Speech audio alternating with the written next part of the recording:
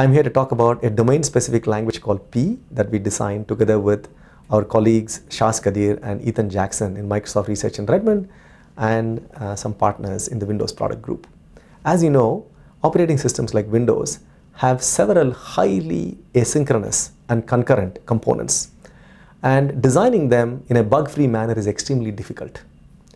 What we did in this project was that we came up with a domain-specific notation where concurrent state machines can be written down, you could think about it in a pictorial-like notation. And we can do two things with this notation. Using these state machines, we can do verification or model checking at the level of the design and then find bugs at design time. The second thing we can do is that we can compile these state machines to actual running code that runs inside the OS.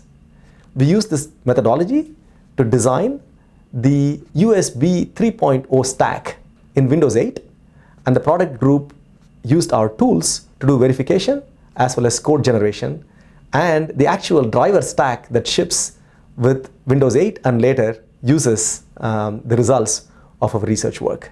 You can also read about our work in this paper P, Safe Asynchronous Event Driven Programming that we published in PLDI 2013.